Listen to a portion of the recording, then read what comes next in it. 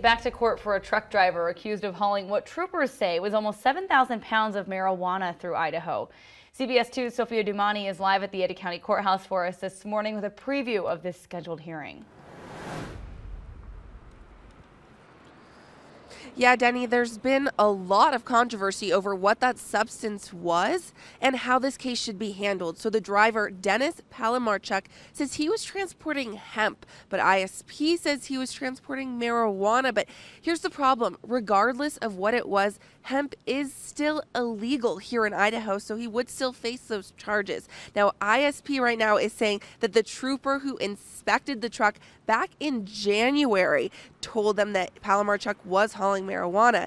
Now, the company who hired him argues that it was industrial hemp, which is protected under the 2018 Farm Bill. So that company, Big Sky, has requested to get the hemp back, but has been denied because states and the federal government have not come up with a regulation plan that defines hemp or if it complies with the law. So attorneys for ISP say any substance containing any amount of THC is illegal under Idaho law, even if it's less than 0.3%, which they say usually is the case with hemp. So in this specific case, ISP says the tests to determine whether or not it's hemp have not been released yet. But just yesterday at the State House, the House Ways and Means Committee introduced a bill that would actually allow hemp and CBD to be transported legally through Idaho. So it would allow the director of the Idaho State Police to issue permits for the interstate transport of hemp and CBD, which also is currently illegal here in the Gem State. Now, today's preliminary hearing